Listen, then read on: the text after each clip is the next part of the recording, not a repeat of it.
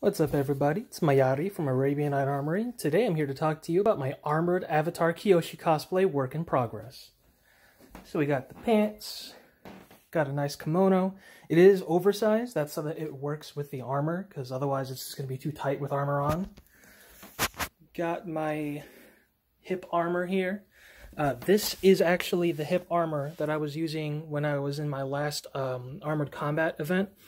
Um, if you ever saw a photo of me punching someone in the face with the rim of my shield, this is the stuff that was on my hips. And we got some shoulder armor, some pauldrons, also lamellar.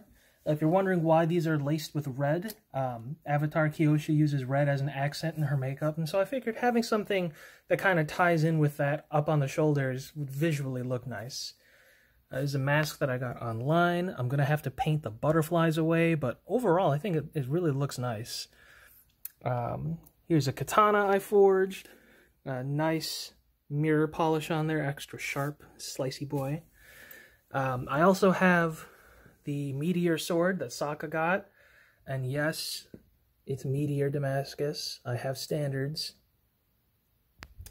Uh, I got this um, the scaled coif here, uh, scales were used in both Asia and Europe for armor, so visually this looks like it might still work. It might be a bit too bulky. I'm kind of debating if, if I'm going to bother with it.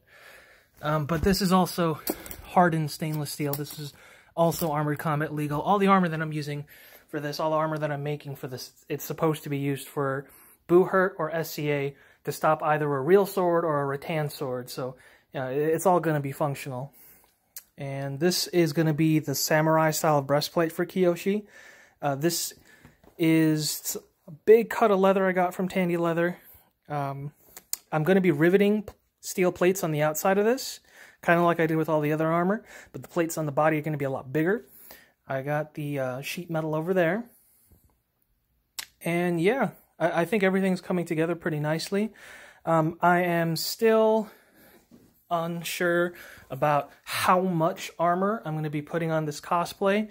I want enough that it shows off my skill as an armorer and blacksmith, obviously, but I want to still be identifiable as Avatar Kyoshi. I think with the mask plus maybe that, that brass crown piece that she has in the green kimono, that might already be enough. Uh, but let me know what you guys think.